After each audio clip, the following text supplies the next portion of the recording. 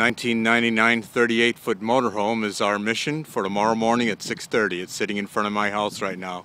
And if you can see the white oxidation that I wiped off in my hand, it is absolutely horrible.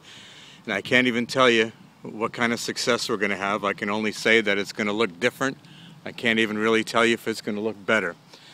But I'm going to work on it with all of my skills and all of my knowledge and give it the best that I can and way down low here, I don't think I'm going to be able to do much, if anything at all, with that. It's just too far gone. It hasn't been washed in over three years. It's just been sitting on the Seal Beach Naval Weapons Station. And we shall see what we shall see. I'll take another video when we're done. Wow.